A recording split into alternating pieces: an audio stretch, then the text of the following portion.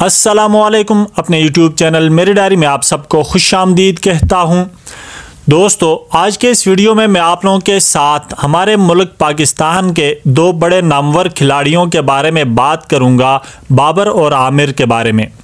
इनको लेकर social media पर जो कंट्रोवर्सी चल रही है, इस पर मैं तफसील से बात करूँगा। समझ नहीं आती है कि आमिर को बाबर से क्या मसला है। आज मैं सुबह से सोशल मीडिया पर जब आमिर के खिलाफ तबसरों की भरमार देखता हूँ तो अफसोस भी होता है कि कितना ज़बरदस्त टैलेंट ज़ाया हो गया। नाजरीन ग्रामी, अगर आप किसी बड़ी पोजीशन पर पहुंचकर कोई संगीन गलती करें तो उसे सुधारने का मौका बहुत कम मिलता है। बेशतर मशहूर शख्सियात गुमनामी अंधेरों में खोकर भूली बसरी दास्तान बन जाते हैं। फिर उन्हें पछतावा होता है कि काश ऐसा न किया होता। अलबत् बाज़ लोग ऐसे भी होते हैं जिन्हें ज़िंदगी सेकंड चांस देती है।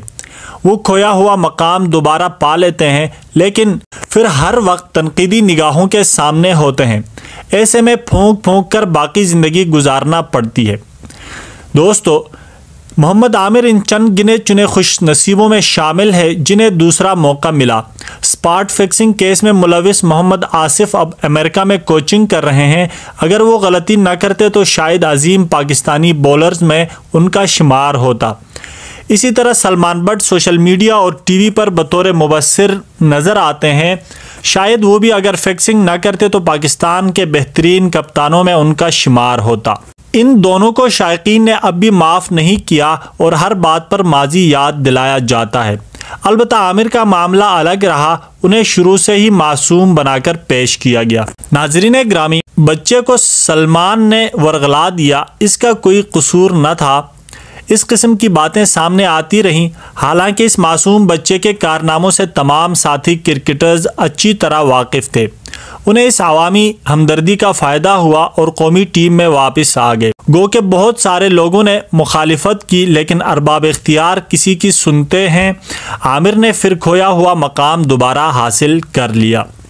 दोस्तों, अब होना ये चाहिए था कि वो गलतियों से बचते हुए बाकी करियर अच्छे अंदाज में मुकम्मल करते, मगर उन्होंने ऐसा न किया, वो ऊँची हवाओं में उड़ने लगे। अगर कोई खेल से ख़ुद को बड़ा समझे तो बहुत ज़ोरदार ठोकर खाता है। हर दौर में बड़े बड़े क्रिकेटर सामने आते रहते हैं, सबका अपना मकाम होता है। क्रिकेट समेत हर शोबे में आपका काम बोलता है। कोई कुछ अच्छा कर रहा हो तो उसे ढंडोरा पीटने की ज़रूरत नहीं होती। काम खुद ही उस अच्छाई को बता देता है। काम नज़र आ जाता है तभी इज़्ज़त भी मिलती है। नाजरीन ग्रामी, आमिर ने बदकिस्मती से अपने दूसरे चांस से फ़ायदा नहीं उठाया। इस बार उन्होंने मुख्तलिफ़ किस्म की गलतियाँ की। उन्हें लगा वो पाकिस्तानी टीम के लिए नागुजीर हैं। हालाँकि कोई नागुजीर नहीं होता।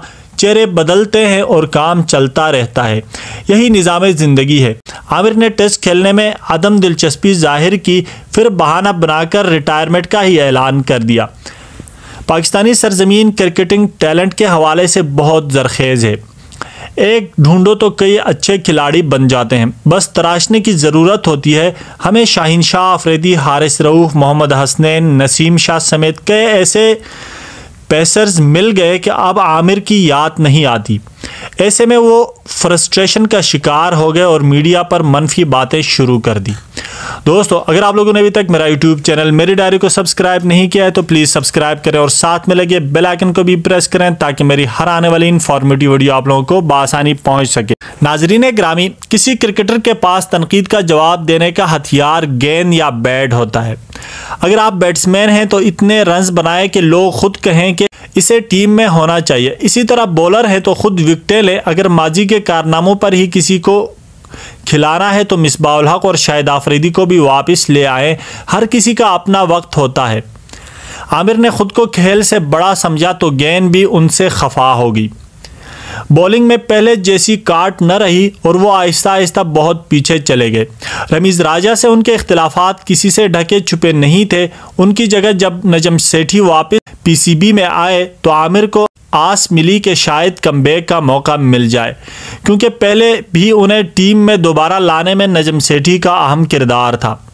अलबत् अगर कारकर्दगी अच्छी ना हो तो आप सदर ममलिकत से भी सिफारिश करा लें, नहीं खेल सकते।